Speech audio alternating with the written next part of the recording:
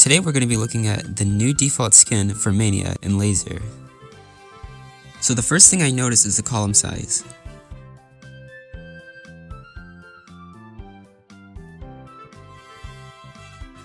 Now if we compare this to the previous default skin, it is a little bit better.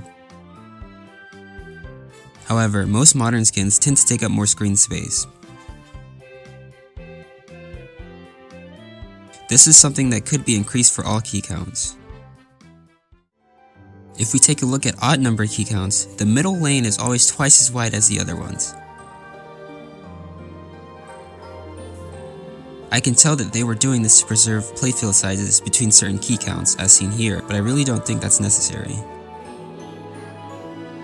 Another thing is this bottom part right here. Most skins either have the keys with the bar above it, or just the receptor alone.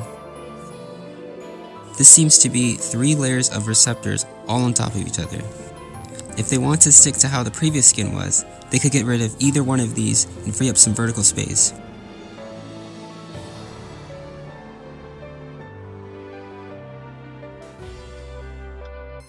When it comes to the colors, each key count seems to change which color gets associated with which finger.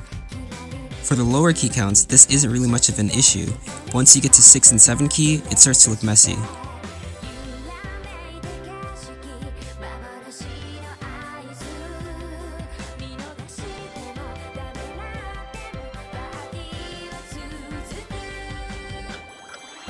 Skins usually follow a pattern of coloring to make it easier to read and to know which finger is involved, and this pattern of coloring can translate to higher or lower key counts.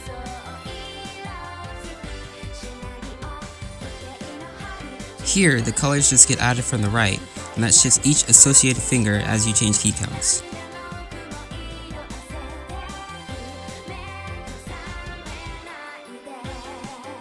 As for the background colors, those could be toned down as well.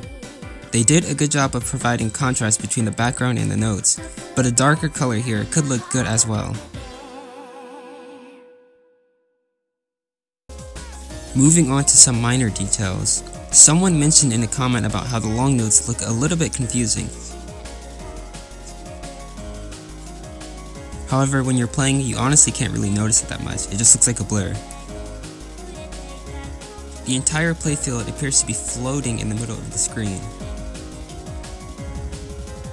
It's as if the notes are being blocked by a cover or something, as well as the bottom having a lot of empty space. Other skins, this isn't apparent at all, and notes are shown at the very top of the screen.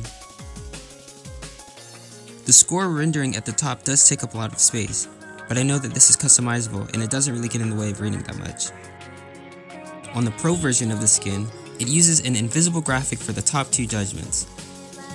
This really doesn't seem like a good idea, as most pro players can distinguish the timing between the two. The key lighting could also be toned down here in comparison to the normal version. That's all the main issues I have with this skin. If you think there's anything I missed, please comment it below. Overall, Argon is a massive improvement from the previous default skins.